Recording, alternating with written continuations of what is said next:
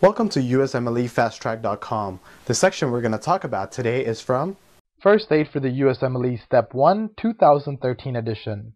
Page 462. What is delirium? Delirium is waxing and waning levels of consciousness with acute onset. In delirium, there is also decrease in attention span and level of arousal. What are some of the characteristics of delirium?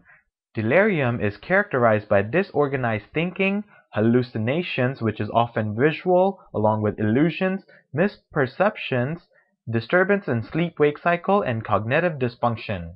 What is the mnemonic to help you remember delirium? The mnemonic, just remember there's changes in sensorium, because delirium and sensorium both have that rium ending. How does a physician check if delirium is substance abuse related?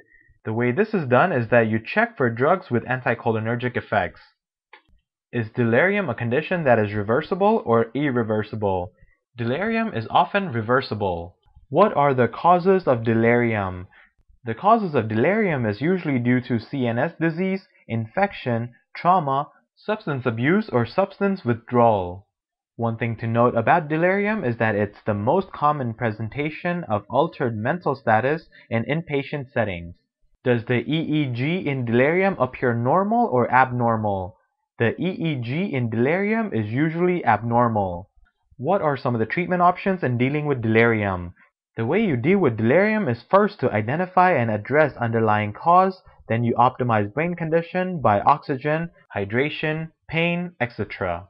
Or lastly, you resort to antipsychotics. Name an antipsychotic used in the treatment of delirium. The antipsychotic used in the treatment of delirium is haloperidol.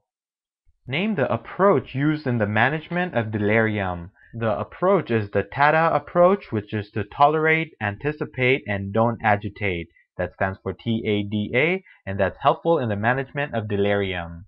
For more information on this topic, click on the link in the description section below. For a full USMLE Step 1 review, be sure to check us out at usmlefasttrack.com where we help you review the entire first aid for the USMLE Step 1 with high quality videos and hundreds of detailed pictures for a better understanding of the material.